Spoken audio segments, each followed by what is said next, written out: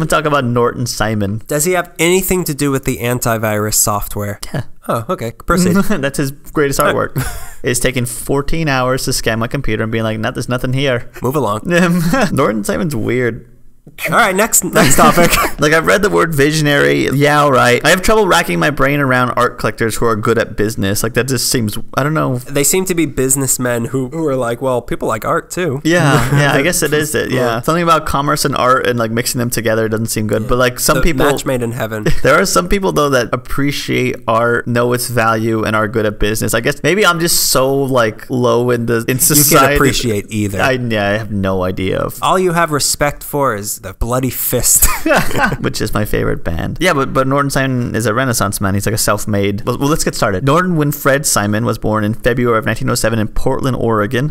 Portland breeds weird people, from my understanding of film and TV references. His father, Meyer Simon, owned a department store there in Portland, which some think may have gotten where he Probably got weird. probably super weird. They Hippie probably sold weirdo. like hair or something. I don't know. That's probably where he got his itch for entrepreneurship. The family, which involved, I believe it's Norton Simon and two sisters, then moves to San Francisco. And by all accounts, Norton is very savvy businessman. He graduates from high school when he's 16. He gives UC Berkeley a quick try before dropping out. And by 18, has moved to Los Angeles and started a sheet metal distributing company. This Every- everybody, this is every start. dream. Uh, This is in 1925. It's cool back then. Cool, yeah. It was like uh, Silicon Valley. Around the same time, 1922. Sheet metal plane. It's like what beer crafting is now. It's like starting a brewery. Back then, it was sheet metal. It was just a different time. Around the same time, 1922, the privately endowed nonprofit institute known as the Pasadena Art Institute is established, and two years later, it incorporated. It was founded by local citizens in hopes of encouraging Los Angeles residents into a study of fine arts. They managed to claim the Reed Mansion, which is a 22-room Victorian house on nine and a half acres of land situated at the corner of Orange Grove and Colorado Boulevard in Pasadena, a spot known as Carmelita Park. Carmelita. Any relation to the Carmelita Provision Company? I didn't look into that, but let's stop the episode and find out. Here we go. this is where chorizo was born. The chorizo pits. oh no, they're seeping in. Get some scrambled eggs. Get the tortillas quick! It's spilling everywhere. Everyone, invite your extended family. Who's gonna eat all this chorizo? Why? Yo. So in 1929, as we always have to mention, the Great Depression hits Los Angeles. It's not as cool as the recession, though. No, it's not. Mm. This ain't your daddy's depression, but it might be, and it leads But it might it. be because it's genetic. the depression hits, but Norton Simon has no plans on being depressed by the depression. It's 1931, and while most Americans were eating their own cats to survive, Norton Simon was eating his neighbor's cats to survive. you don't Where's Cinnamon, they say. Why, Cinnamon did not live up to her name, I'd say. you don't eat from your own stock. That's how you make it. Don't get full on your own litter. Just have good neighbors. State Farm. Norton Simon invested seven thousand dollars in a bankrupt juice bottling company running out of Fullerton. What? Exactly. What? Who? What? It's the depression. I have seven thousand dollars. Who needs money? That even in the best of times, that doesn't sound like a good investment. Watch what he does. All right. This was the first of his many acquisitions. He takes this bottling company and he turns it into a company that cans tomato products. And during this, he kept prices low and greatly expanded the operations of the newly named Valvita Food Products. Hmm. Initially, the company had annual sales about forty-five thousand dollars a year, but by the end of the decade, he built the business into a nine million dollar corporation. Around 1932, he Why, gets do- why is Eh, why do people need that many canned tomatoes? sending them off to war. I have no idea. So many Italians were coming in the country at that time. That's all they wanted. Come to uh, America. We have canned tomatoes now with more canned tomatoes. Every other country wanted to give them squash. We got what you're looking for. So around 1932, he gets married to a woman named Lucille, and about six years later, they have a son together, Robert. Lucille.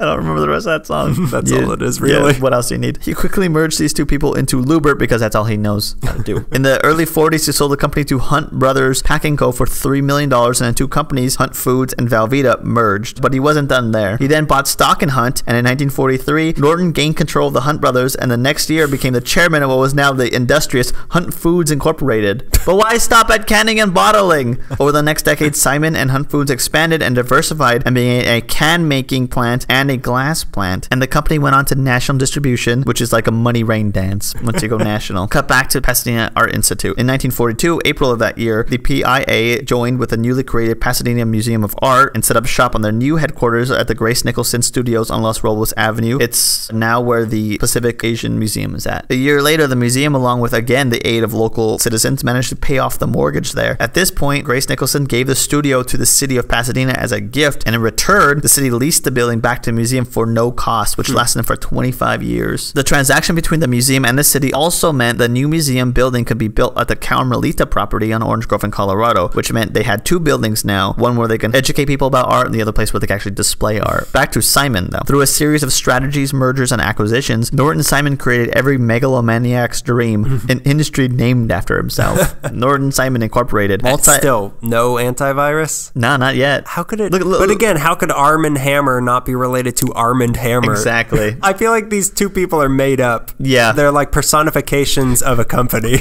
One corporation gave birth to a little boy. when two corporations love each other very much, because corporations are people, according to Congress. So Norton Simon Incorporated is a multi-industry, multinational corporation that included Hunt Wesson Foods, if you're familiar with the tomato Yeah. sauce. Oh, of course. McCall's Publishing. I call it ketchup, but sure. wait, wait, wait, wait. What do you call it? What am I catching up to? Use tomato juice on your French fries, or yeah, I put V8 all over it. It's also McCall's Publishing, Saturday Review of Literature, Canada Dry Corporation's Ginger Ale. Wow, I like this. Max I like these things. These are things that I enjoy on a daily basis. ketchup and ginger ale. It also includes Max Factor Cosmetics, which you also like, It's uh, the only one I wear. and Avis Car Rental. Oh, the only one I drive, and also the one that this 25 episode old podcast drives. Oh, that's right. Yeah, we, we our sponsor is now Norton Simon. Norton Simon, please back us up on this. Please, we'll let you put any virus you want on our computers. Even the dirty ones. His conglomerate of corporations. the ones. We're not going to name it, but here's the list of names. His conglomerate of corporations had a long list of products ranging from Popular Mechanics magazine to tomato sauce. But why stop there? If you're like Norton Simon, you are perpetually restless and dissatisfied. Mm-hmm. Playing the business games was very rewarding, but by 1969, he had seemed to achieve all he sought after. His conglomerate corporation almost ensured that he'd be wealthy until he died, which I looked into. His stocks were worth more than $50 million by this point, and a new interest Jump change. Toss it around. Toss it. Who are you? Eli Bro- Broad. Sorry, I'm sorry to the Broad, family. Broad. Broad. Like a bunch of bros did something bad to you, and you're telling the cops, like, I've been broed. Got broad. Hey, let's not make fun of him. He's the most powerful man. Yeah, no, he he currently he just walked in right now. Oh, Mr. Mr. Broad. Broad. Mr. Broad. Mr. Broad, you've got a lovely daughter. She's quite the broad. Um, so at this point in his life, a new interest slowly started to take prominence in his life, and that's art collecting. Uh, yeah, it's a late in the life thing it for is. Broad. Also, Yeah, is it? Yeah. that's weird. Well, I mean, they don't care. like they have nothing else to do. So What's that thing? Yeah, bring it over here. It started 15 years earlier 1954 after his home was built. And I can't really find out where that was, but he purchased works of art to decorate his new home with. Hmm. It started with a Gauguin, a Bonnard, and a Pissarro, and he said he was hooked after that. And just like Norton Simon, when something seems interesting, he throws himself headfirst into it. He began acquiring works from Cezanne, Renoir, Degas, who he seemed to focus more of his attention on. Was he has a big Degas collection. Around this time, to go back to the PIA, Pasadena Art Institute received a gift of 500 artworks from the estate of the German painter and collector Galka Scheyer. Galkashire.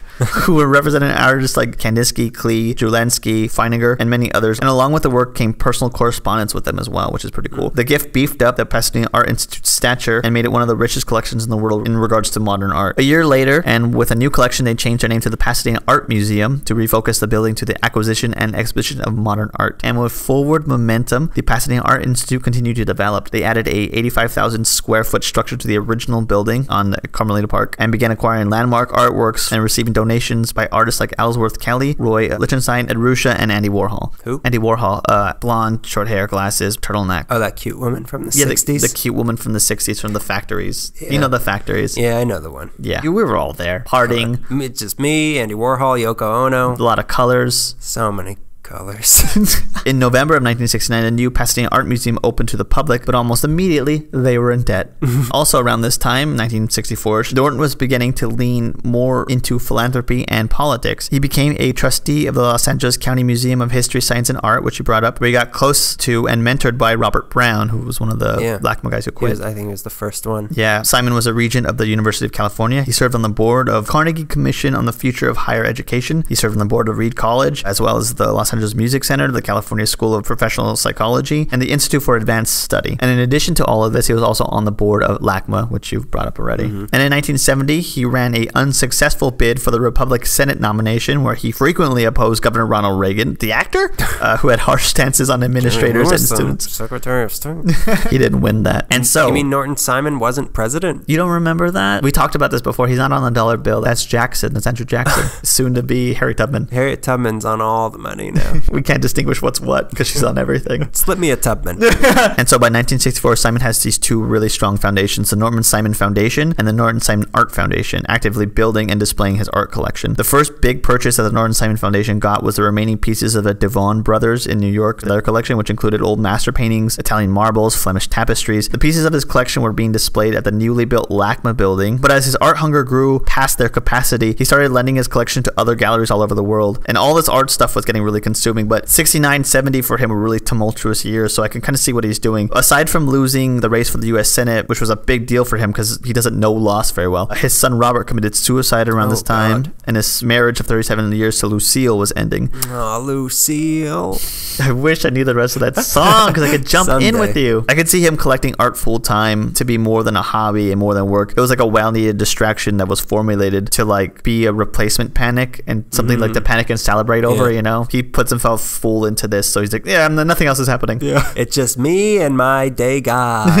So it's 1969 at at the age of 62. Norton Simon resigned as the director of the Norton Simon Incorporated to concentrate his time fully on collecting art now. After stepping down, Simon reduced his investment in his conglomerate to $1 million worth of stock, but he set it up so he can continue to receive a retirement income of $113,000 in a year in addition to $60,000 a year as a consultant. So he's fine. Don't worry about Yeah, Simon. He'll be all right. A year later, Norton. Norton!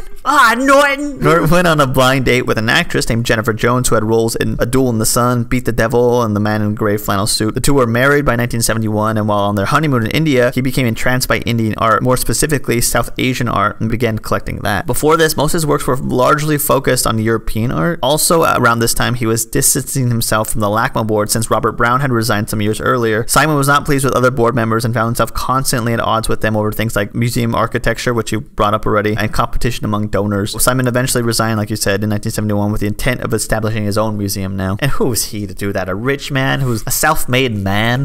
Who's he? A capable man who can do it?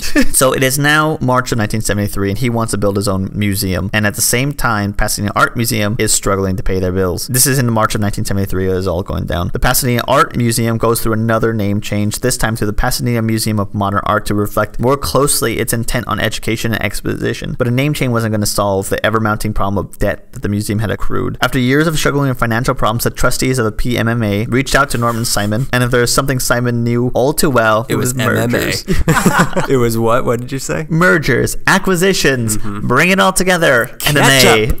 Yeah, MMA. The merger of my knee into your teeth.